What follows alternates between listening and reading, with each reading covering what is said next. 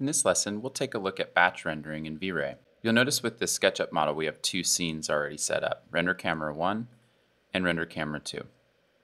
Now whenever you have multiple scenes set up for different renders, rather than having to render one at a time, you can take advantage of the batch render feature in V-Ray. You'll notice in the toolbar here, the batch render tool is available to you once you have two or more scenes in SketchUp. Before we render though, let's go to the asset editor and then under the settings tab, we'll switch on the progressive mode and we'll set the quality high and then flip out this menu here. And if you click on the ray trace, let's take advantage of the time limit here. So we'll check this on and we'll set the time limit to two minutes. Then I'll close down the asset editor and back over in SketchUp, we can go ahead and click on the batch render button. Now it'll ask us to specify the file name and where we want to save it. So click OK and then we can go ahead and name it and click save. And V-Ray will begin the batch render.